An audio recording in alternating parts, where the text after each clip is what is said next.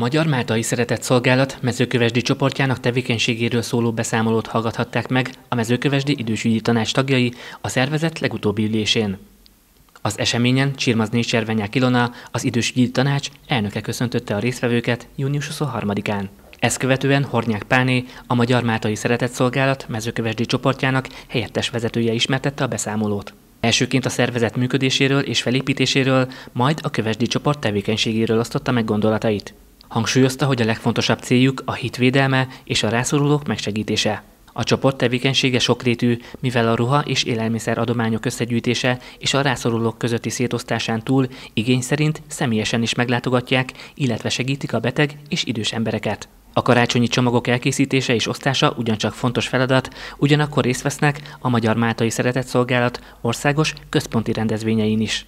Minden évben pénzadományt gyűjtenek az Összetartozunk elnevezésű Máltai ifjúsági tábor megszervezéséhez, továbbá részt vesznek a nemzeti ünnepek városi megemlékezésein. Nagy figyelmet fordítanak a matyú hagyományok ápolására, közös programokat is szerveznek, például színházlátogatás és klub foglalkozás formájában. A szervezet tagjai napi kapcsolatban állnak a mezőkövesdi intézmények vezetőivel, dolgozóival és segítik egymás munkáját. Ezen felül több karitatív és helyi társadalmi szervezettel is együttműködnek. A beszámoló után az idősügyi tanács tagjai méltatták a Máltai Szeretett Szolgálat tevékenységét.